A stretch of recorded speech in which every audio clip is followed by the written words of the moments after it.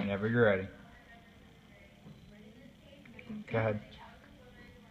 May it please the court, theft is a major, ongoing issue in our nation, and we cannot let it go on any longer. Sloan Jackson is a thief. He stole a shirt that he desired and disposed of the shirt before fleeing confrontation. We have proved beyond a reasonable doubt that Sloan Jackson intentionally stole a shirt from Famous Fashions. Theft is classified as first-degree retail fraud because Jackson's proven intention to never return it. We have proven that Sloan Jackson is not a record fanatic and would therefore have no reason to run from Famous Fashions in the name of records. Also, Jackson himself admitted that a rational and innocent person would have no reason to run from the authorities. Further, Bobby Klink proved to you that he found the shirt in a trash can by the yogurt stand to where Jackson escaped. Even the defendant's witness, Toby Patton, was not able to defend Jackson. She had to admit it was quite possible that Jackson stole the shirt. Ladies and gentlemen of the jury, you will need to ask yourselves these questions.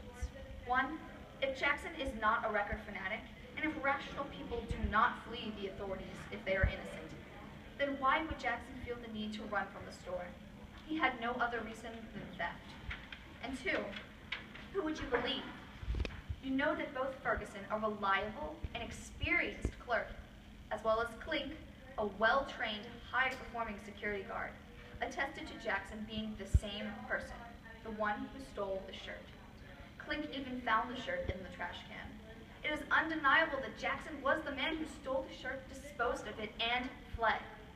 Jackson lied about ever being in famous fashions. Would you sooner believe a lying thief over hardworking, good citizens who are only trying to keep the peace on the most stress, most stressful day in retail of the year. The underlying message of this case is a choice between obvious reliability and perjury, between my client and Sloan Jackson, the man who stole the shirt and fled confrontation. The choice is yours, but the answer is clear. Sloan Jackson is guilty of first degree retail fraud.